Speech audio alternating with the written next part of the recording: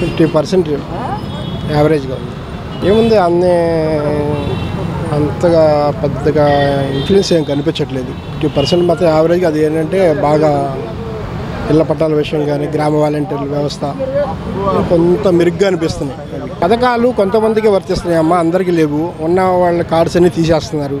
కొంతమందికి రేషన్ కూడా పీకేశారు. అవేమీ సరిగ్గా కొంతమందికి అందట్లేదు. ఎవరికో అందిన వాళ్ళకి అందుతున్నాయి లేకపోతే మిగతా వాళ్ళకి ఏమీ లేదు. అభివృద్ధి అంటే ఆయన బ్యాడ్ లక్ ఏంటంటే కరోనా వచ్చిందమ్మా. అప్పుడు ఆయన వచ్చినాక కరోనా వచ్చింది. ఈ కరోనాకి అందరూ సఫర్ అవుతున్నారు. దానివల్ల ఏంటంటే అభివృద్ధి అనేది ఏ స్టేట్లో లేదు.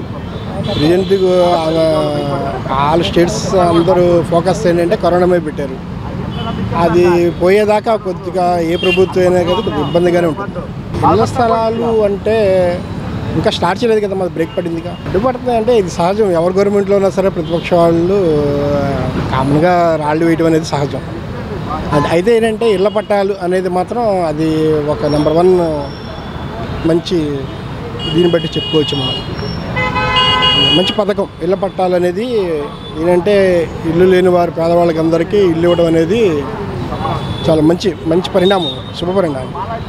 దాంట్లో జగన్ గారిని మనం అభినందించవచ్చు. అది ఎవరికి అందినాయి అమ్మ?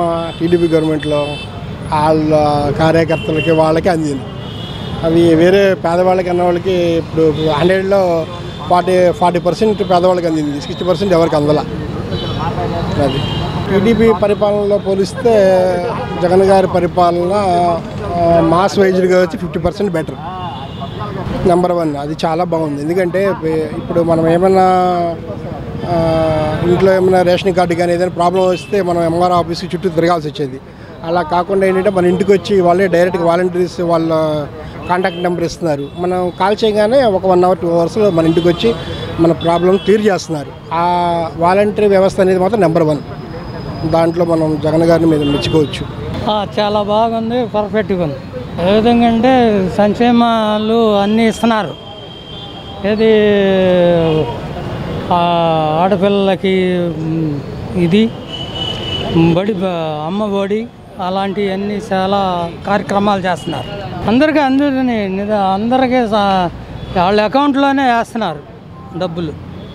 అది అది కోర్టులో ఉంది అని చెప్పారు కదా కోర్టులో. అది కోర్టులో ఉంది కాబట్టి దాన్ని ఇది చేయాలి. వేస్తున్నారు అది ప్రతిపక్షాలు వాళ్ళు వేస్తున్నారు. కోర్టుల ద్వారా అది ఇదైపోవాలి. కోర్టు తీర్పును బట్టి వచ్చింది. అవి పాత పది ఐదు సంవత్సరాల క్రితం ఆయన ప్రభుత్వంలో ఉండగా ఏమీ ఇవ్వలేదు. మరి జగన్ గారు కూడా ఇవ్వాలంటే ఇవ్వబోతుంటే మరి కోర్టులో వేశారు ఇది సంగతి. ఆ, వాలంటీర్స్ బాగానే ఉంది. బాగానే ఇంటికి ఇంటికి వెళ్ళి బియ్యం వేయటం అన్ని సమస్యలు తీరుతున్నారు. గనక మీకు నచ్చినట్లయితే లైక్ చేయండి షేర్ చేయండి. మరిన్ని వీడియోస్ కోసం మా ఛానల్ను సబ్స్క్రైబ్ చేయండి.